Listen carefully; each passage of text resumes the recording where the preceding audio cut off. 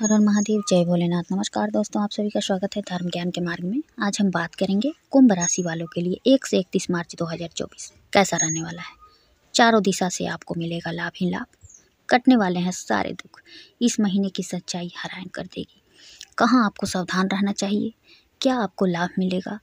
और क्या उपाय करना चाहिए अपने भविष्य में आगे बढ़ने के लिए, जिससे कि आपको कोई परेशानियों का सामना करना ना पड़े और आपका काम बनता चला जाए? तो ऐसे ही वीडियो देखने के लिए, अगर अभी तक आप लोग चैनल को सब्सक्राइब नहीं किए हैं तो वीडियो को लाइक और चैनल को सब्सक्राइब करके कमेंट बॉक्स में हर हर महादेव, जय भोलेनाथ ज़रूर लिखिएगा इनकी कृपा पाने के लिए।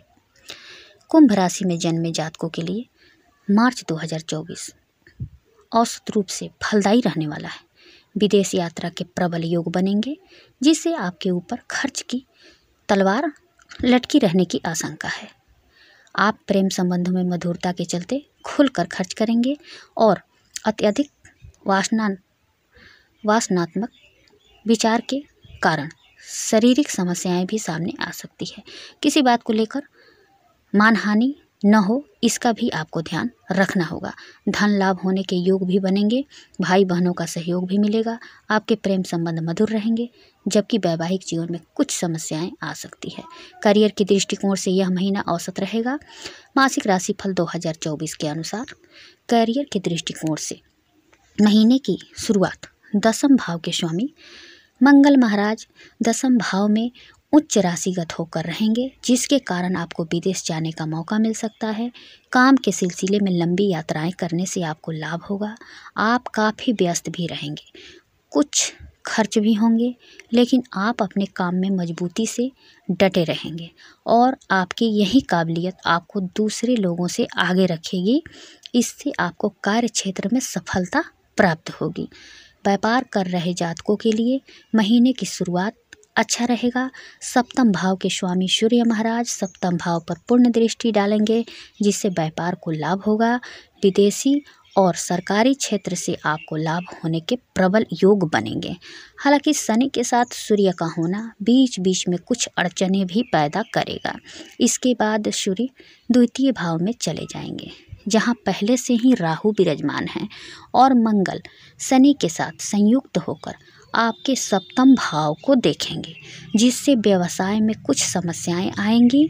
व्यवसायिक साझेदारी से संबंध बिगड़ सकते हैं, इसलिए थोड़ी सावधानी रखें और इस महीने कोई बड़ा निर्णय लेने से आप बचें।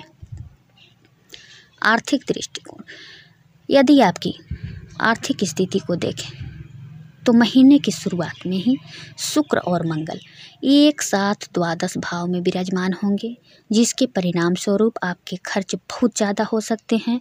आप दिल खोल कर अपनी खुशी से खर्च करेंगे और दोनों हाथों से धन लुटाएँगे।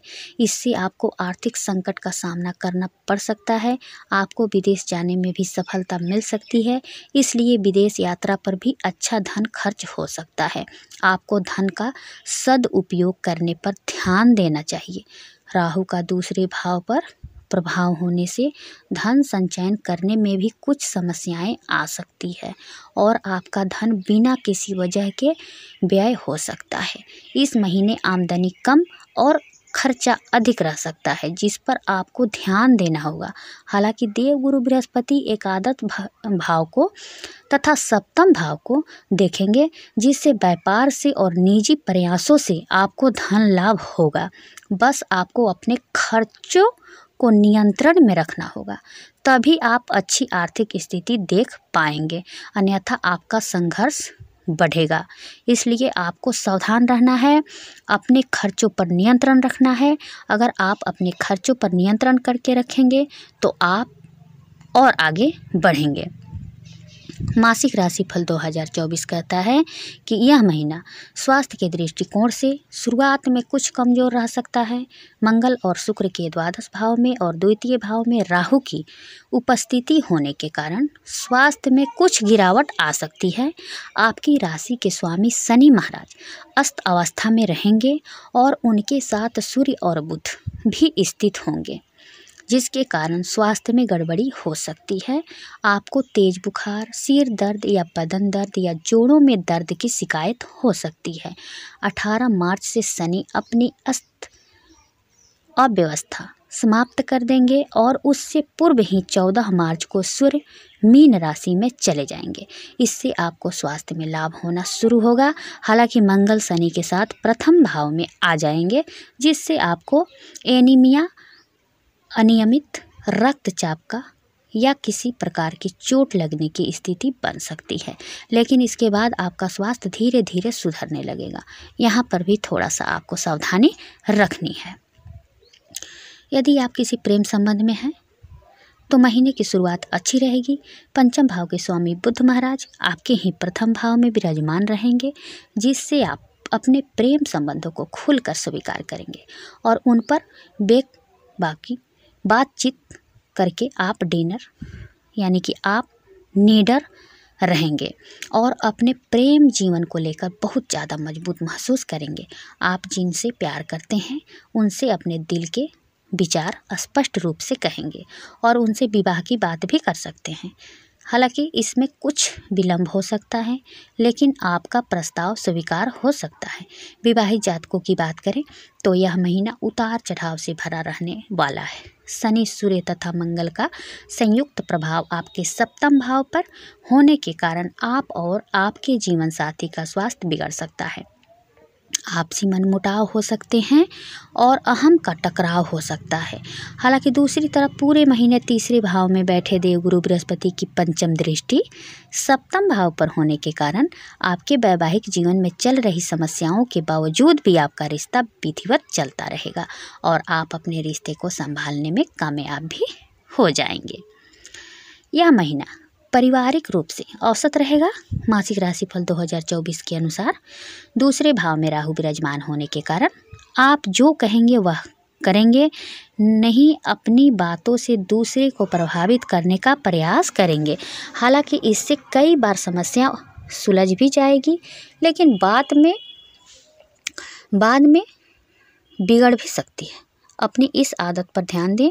चतुर्थ भाव के स्वामी शुक्र महाराज द्वादश भाव में विराजमान हैं और सात तारीख को प्रथम भाव में आ जाएँगे। इससे परिवार में आपका कद बढ़ेगा। परिवार में आपको सम्मान की नज़रों से देखा जाएगा। माता और पिता का स्वास्थ्य अनुकूल रहेगा अच्छा रहेगा, जिससे आपकी चिंताएँ कम होंगी। भाई बहनों का पूरा सहयोग आपके साथ रहेगा। वह हर काम में और हर सुख दुख में आपका साथ देते रहेंगे। इससे आपको बल मिलेगा और आपका जीवन उनके प्रेम से और भी बेहतर हो जाएगा।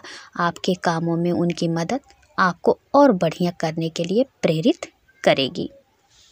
क्या उपाय करना चाहिए अपने भविष्य में आगे बढ़ने के लिए कुंभ राशि वालों को? रविवार के दिन बैल को गुड़ खिलाएँ।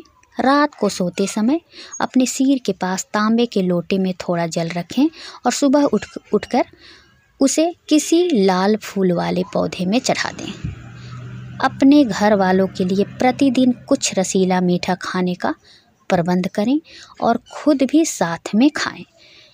उत्तम गुणवत्ता वाला ओपल ओपल रत्न चांदी की अंगूठी में जड़वाकर शुक्रवार के दिन अनामिका उंगली में धारण करें। आप शनि देव की पूजा करें शनि मंदिर जाएँ, हो सके तो वहाँ पर बैठकर शनि चालीसा का पाठ करें। आपके लिए हनुमान जी की पूजा करना भी उत्तम रहेगा। तो आप हो सके तो हनुमान मंदिर होकर आएँ या अपने घर पर बैठकर ही हनुमान चालीसा का आप पाठ करें। अगर ऐसा करते हैं तो आपको हर परेशानी से छुटकारा मिलेगा और आपका काम बनता चला जाएगा। उम्मीद करती हूँ कि यह वीडियो आपको पसंद आएगी। अगर वीडियो पसंद आए तो वीडियो को लाइक और चैनल को सब्सक्राइब करके कमेंट बॉक्स में हर हर महादेव, जय भोलेनाथ ज़रूर लिखिएगा। इनकी कृपा पाने के लिए। फिर मिलती हूँ एक नए वीडियो के साथ। तब तक के लिए बाय। धन्यवाद।